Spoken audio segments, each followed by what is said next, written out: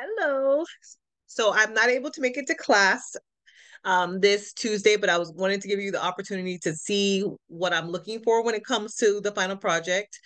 Our class is the career decision making. So I do, I am looking for something that touches on how you are deciding on your career. What are you thinking about? What is your major? What does it look like? How that journey has been in this semester, any of the skills that you've learned that you want to apply towards your career or in general. Those are the main things that I am looking for. I did an example on if I was to do it based on mine. I narrowed it down to some of the few things that I did that I liked from the different classes. And then I'm going to time myself to make sure I don't go past five minutes. So, hi, I am Dr. Chanika Marsh. Um, this is my final project on career decision making. The main things that when I think of career decision making, I know I want to start with my why. I need to get to know myself. So, I wanted to look at um, an assessment to see how I did well, on that. I want to explore different career options. I want to make sure I take action and develop some skills. So those are the things that I wanted to focus on in this class. For the things that I am going to talk about, would be my assessment from the RIASEC, which is that Holland Code, some in-demand skills, the five C's of credit, effective in communication, and then just that career mindset um, for my assessment from the Holland Code, I got that social was 62.5%. My top five category was education and training, which I kind of have always been doing. So it made sense to me. For my top one, it was that social, which are helpers, and then their key motivators or are helping others. They're kind, generous, friendly, idealistic.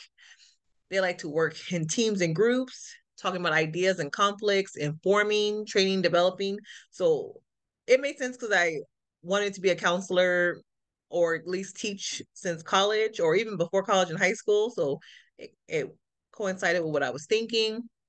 For the in demand and resilient skills, um, I really liked that lesson because I definitely feel like I am have an entrepreneur mindset. I don't I always have that growth mindset wanting and being resilient because you just never know what can happen and always wanting to problem solve and be optimistic and then recognize uh, my own emotions because you know when i'm going through it i i need to be able to still show up to work and be good um, or you know constantly still want to be challenged i want to be in a job where i am constantly growing and being challenged and is not boring to me the lesson on the five C's of credit was a, I love money management stuff. I'm always looking for ways to make more money or to do better with the money that I do make. Uh, one thing I learned from the lesson was to pay off the credit card debt at the end of the month, and that there was two different types of ways uh, that you have that you have to keep track of. It's like your billing date and then the date that's being reported to the the financial department financial department so those were i didn't realize you had to pay attention to both so it's more mm-hmm. strategy that goes into account uh, when it comes to that so that was a pretty important lesson to know um, effective communication is always a really good one. I have learned that I took the assessment that I am an expressive communicator. So a lot of times I'm going to talk with my hands. I'm going to be very extra when I speak, um, and I can go off in many directions. So I've learned that I need to be able to pivot when speaking to different different people who don't actually have my style. So for example, someone who's a driver, they're going to speak very straight to the point. So if I'm over here talking and talking and talking, they're I'm going to lose them. So I need to make sure that I can get to the point sometimes even if I do like to go off and be very enthusiastic when I'm speaking.